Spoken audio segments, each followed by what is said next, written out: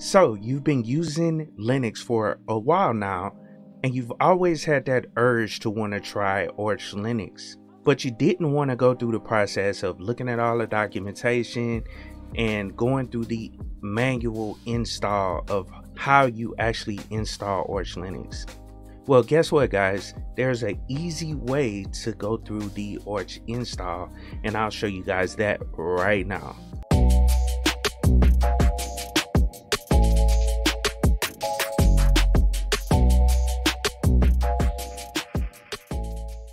So, as I stated in the intro, I want to show you guys one of the easiest ways to install Arch Linux. And it's a very simple process, and I'll walk you guys through it. But a while back, Arch Linux added, or the people behind Arch, the community, they added a install script to the actual ISO that will allow you guys to go through the install in a very simple and fast way. And let me go through and show you guys how to actually install it. So let's get started.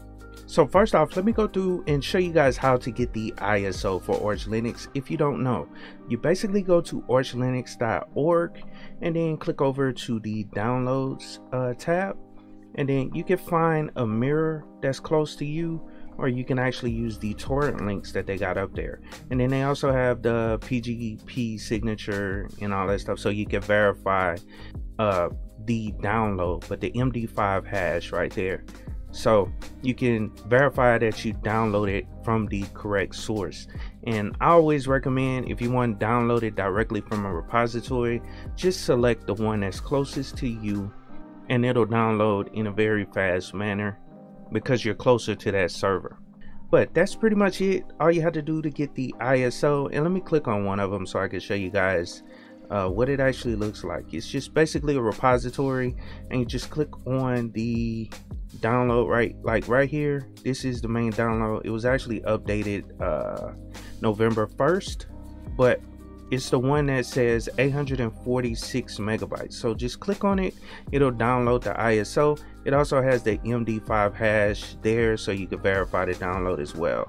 So that's how you get the iso but there's a whole bunch of information on the Arch wiki that can help you with the install but like I said, I wanted to do it the easy way. So I wanted to show you guys how to actually do it using one command and then walking through each step of the install. So let's switch over to my virtual machine and go through the install. So I'm on my virtual machine and I have the Arch Linux ISO booted up. And so all you had to do, I just wanted to show you the guys this, but this is how you actually get into it. It has a multiple options in the installation media BIOS. That's essentially what this is. But uh, you want to select the first one unless you want to go to with speech or if you want to go uh, copy to RAM. Uh, you can boot existing OS if there is an OS on here. But I'm assuming that you don't have an OS, so we're going to skip that. We're not going to do that. But you can test out the memory as well as uh, look at the hardware information and then also a reboot option but what we're gonna do is select the first one and wait for this thing to actually boot up. And then we'll start this simple installation. And like i said this thing is super easy. Cool. So we are there. This is the normal arch boot up of the live iso and then you have to go through the installation from this point. You know the typical manual Arch Linux or Arch way of installing the operating system on here. But as I stated, Arch Linux actually added a script in here that will assist you with it. And I'll show you guys the simple command now. All we have to do is type Arch install and press enter and that'll start the full install of Arch Linux. And like I said, it's very simple. Just follow along. I did a detailed uh, manual install of Arch Linux in the past, but I figured I would show this for people that are new to Linux and they're interested in installing Arch, but it does take time, which a lot of people don't have, you know, to actually install it. Okay, so I wish I could make this thing a little bit bigger, but this is the best I could do at the moment because it's using a virtual machine and it's super weird when it comes to recording. But the first thing you want to do, and all you have to do is read it, but it says select one of the above keyboard layouts. And the one we want to use is uh, US. And then you can you can use the number or the full name. So we could just type US or we could type 26. But I'm gonna just type 26. Boom. That'll select our keyboard. And then the next thing is our region. Uh, so I see right off 53 is the United States. So let's press enter there. Now the next thing it asks you for is the device that you want to partition or the hard drive of the system. And for this virtual machine, I have the 32 gigabyte virtual hard drive. So that's represented by number two, which is what we want to mount at the mount location where the install will go. So let's uh, select two, press enter. And now you can select what type of dish you want to set up. So it could be Btrfs, uh, EXT4, XFS, uh, F2, FS. And what I'm gonna select is uh, EXT4. So I'm gonna just put one, press enter.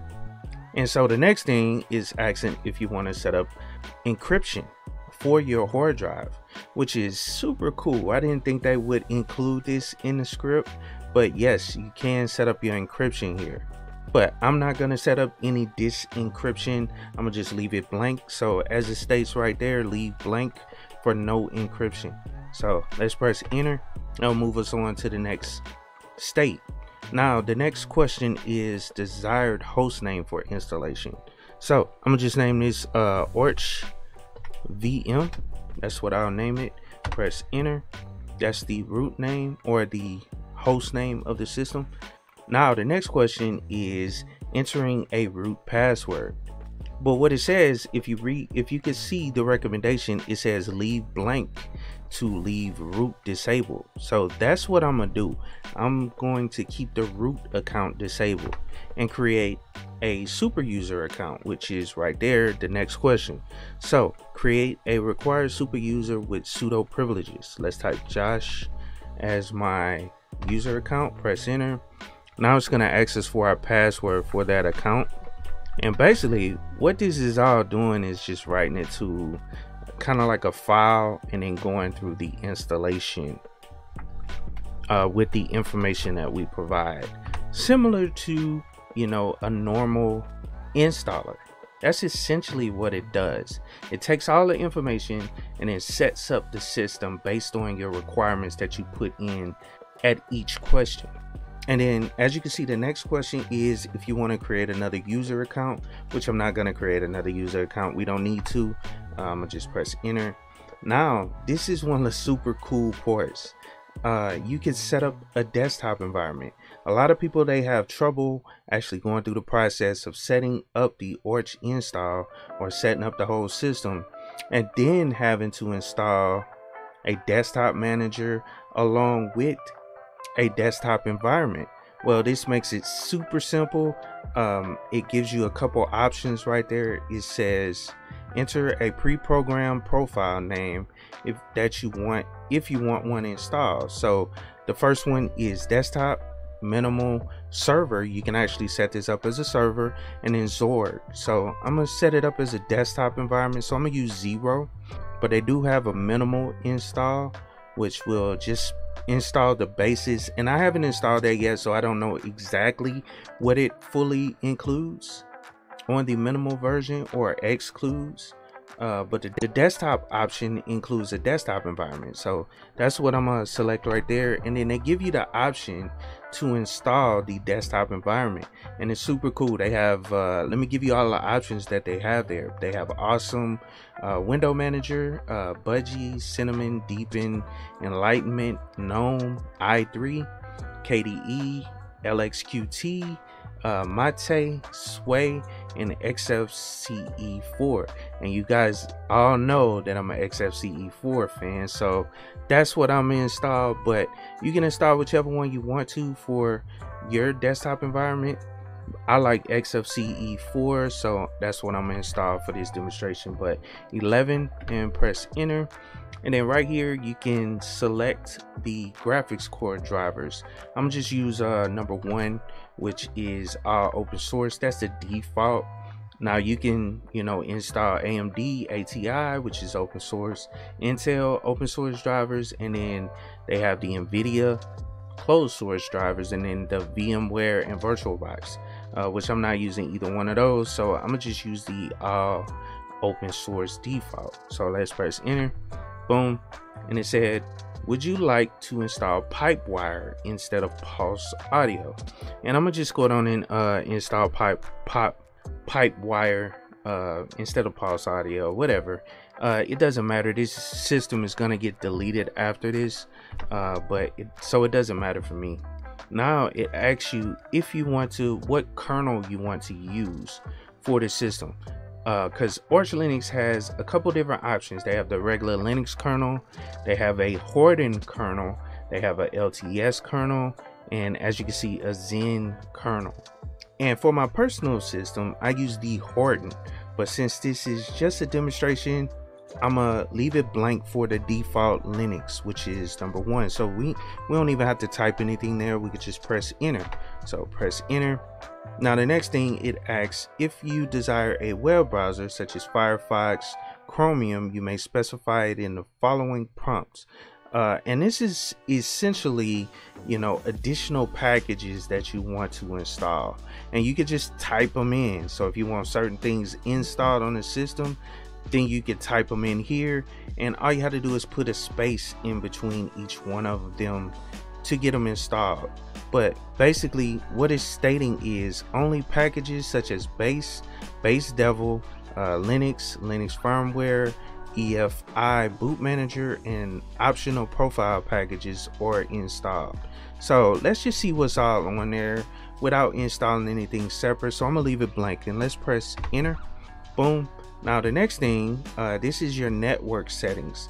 Now one thing I recommend people to do just to make networking super simple, just go down and copy the ISO network configuration to the installation. So however you're connected to the internet using the ISO, it will copy that configuration over to the install. But you can also use uh, Network Manager. That's the second option. And you can, and this will allow you to manage your own internet connection. And then also they do have a third option, which is the device name. I'm not sure what that does. I'm gonna just roll with zero. That way it'll copy the ISO's network configuration uh, over to the system.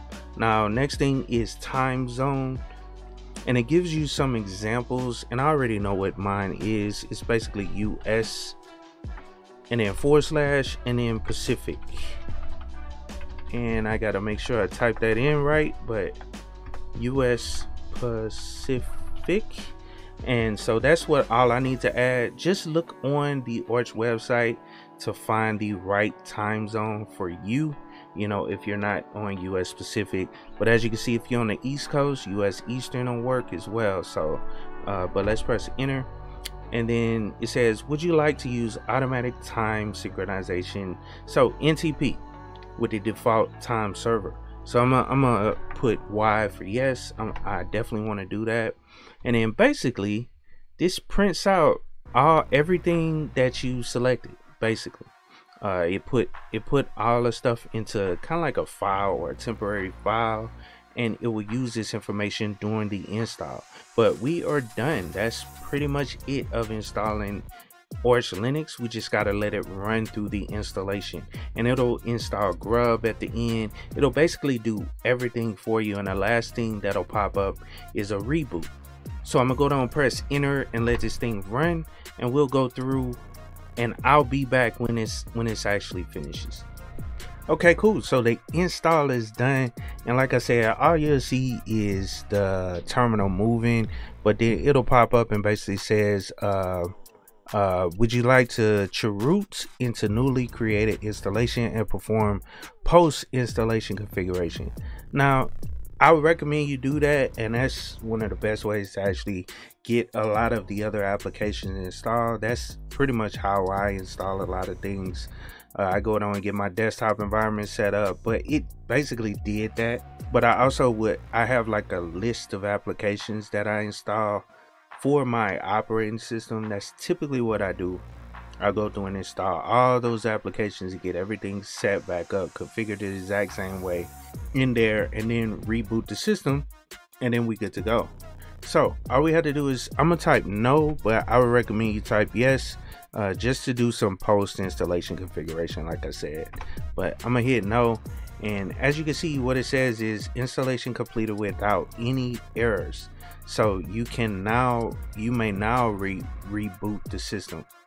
And then it gives you some stats on what exactly how long it took I believe uh, 1% of CPU. I'm assuming that's how long, uh, hour and 14 minutes. I'm not sure. I left and I just came back to the video uh, right now. But let's go down and reboot the system. And all you have to do is type reboots and that'll shut down the system, bring it back up. And then I'll get my screen back corrected so you guys can see everything properly. And I hope you guys could see everything I did but we're gonna get it cracking. And as you can see this is a login screen. It automatically has a a desktop manager. So let's type in our uh, password for Josh account. And as you can see there we go XFCE and now you have a working Arch Linux box with whatever desktop environment you have set up or you selected when you did the install so if you ever want to try out Arch Linux, this is a simple way of actually installing it. But I do recommend me you guys go through the full install the Arch way so you can have a full understanding of how the operating system actually works and you can control pretty much everything you install on the system. So I hope you guys enjoyed the video. Please like, share, subscribe to the channel. And if you have any questions, leave comments down in the comments below. And of course, keep it techie.